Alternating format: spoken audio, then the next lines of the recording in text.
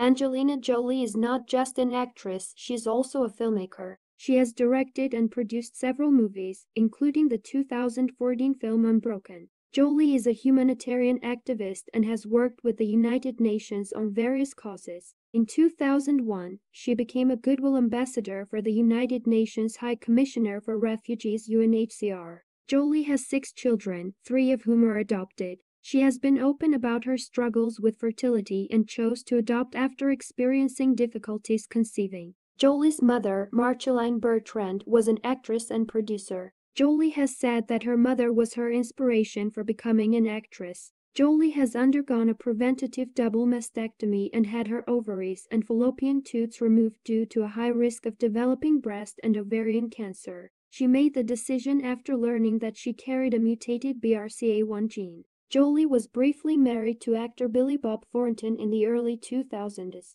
The couple famously wore vials of each other's blood around their necks. Jolie is fluent in French and has often used the language in her films. She also speaks some other languages, including German and Italian. Jolie has a pilot's license and has flown planes since she was in her 20s. Jolie's father is actor Jon Voight, with whom she had a complicated relationship for many years. They have since reconciled.